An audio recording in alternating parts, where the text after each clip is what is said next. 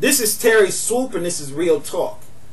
I wanted to talk about the murder that happened in Georgia. Two black teenage boys shot and killed a 13 month old baby while they were trying to rob this woman while she was walking to the store. One of the boys shot the baby in the face while they were trying to rob this woman, and they also shot the woman in the leg. 17 year old Demarcus Akins and 14 year old Dominique Lang were both charged with murder. They also arrested the boy's parents because the boy's parents tried to hide the gun after they found out their boys shot this baby. It's getting out of control nowadays. These teenage boys nowadays are getting out of control. And I've talked about this before with the way a lot of these single mothers can't raise black boys. These are another two black teen boys that were raised without a father. And when there's no father in the picture, there's no discipline. And this is why so many of these younger black boys don't have any discipline. They have no self respect for themselves or anybody else. And this also happened in Chicago. Two black teenage boys shot and murdered Hadiya Pilton. And I'm seeing a lot of these pro black idiots that go around trying to defend this behavior. We need to stop defending this bad behavior. The only way this is going to stop, we need to instill self responsibility into our younger people. Otherwise, they're going to think violence is the answer. They're going to think crime is the answer. Now, a lot of people will make the excuse and say it's because of poverty. Being poor is not an excuse to take somebody else's life. I grew up poor. I grew up poor in the projects, but I, robbing and killing people was never part of my agenda. We need to teach these younger people that education, self responsibility is the only way to success. And robbing and killing is not going to do nothing but you're going to end up dead or you're going to end up in prison. Just like these boys are going to spend the rest of their life in prison. Now they're going to be charging these two boys with the death penalty. They're going to seek the death penalty in this case.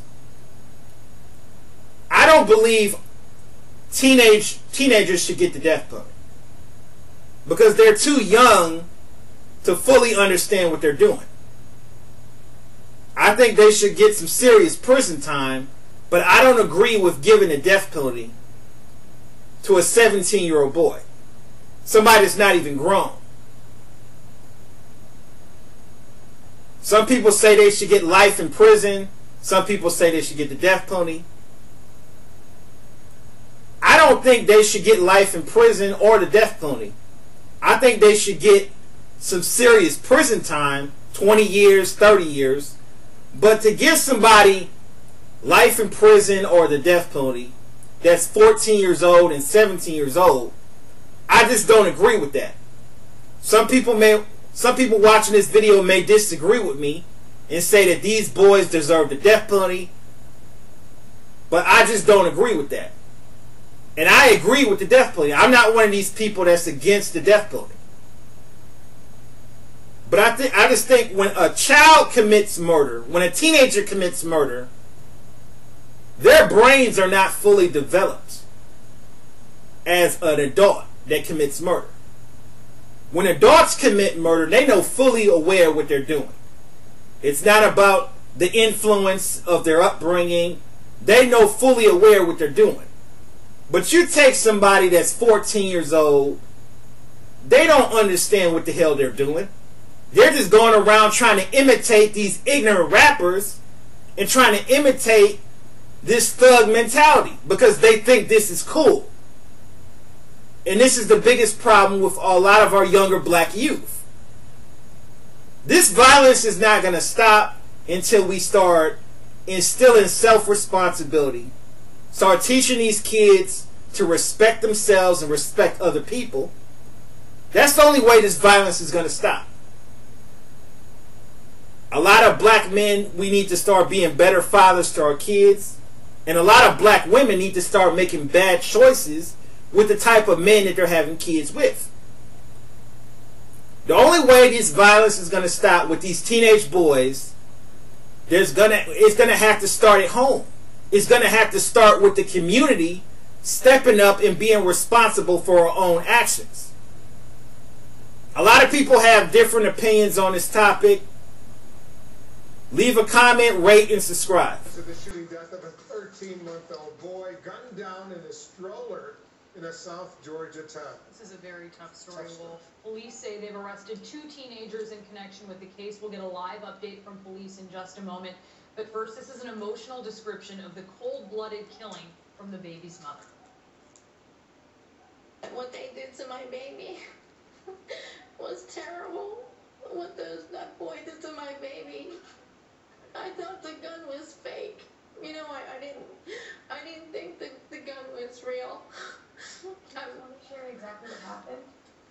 I was walking home from the, the post office and I, I thought, you know, I don't go out enough, so I should take a walk. And I was five minutes from my house, next to the blue house out this road here. I always walk Ella Street.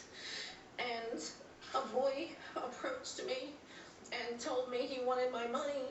And I, I told him I didn't have any money, you know, and and he said, give me your money or I'm going to kill you and I'm going to shoot your baby and kill your baby. And I said, I don't have any money and and don't kill my baby. And he tried to grab my purse and I tried to tell him I don't have any money and then he shoved me and he shot me in the ear. It, it grazed my head back here.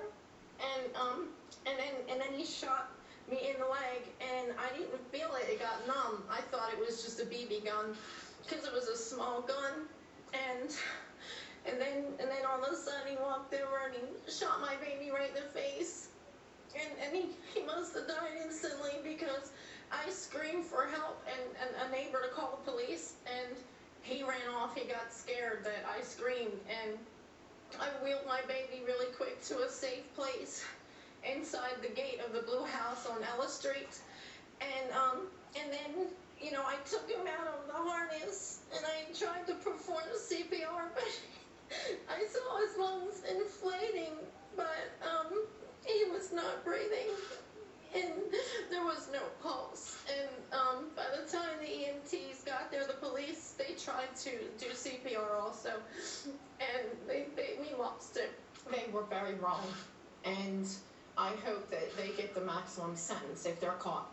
If they can commit an adult crime, I mean, even the police can't even go to training without being 21 years of age. So if they can use a gun like a, an adult, then they can be charged like an adult. I, I want to see lethal injection or at least, um, you know, life in prison. You know, because I mean, this child did nothing to him. He was innocent and helpless.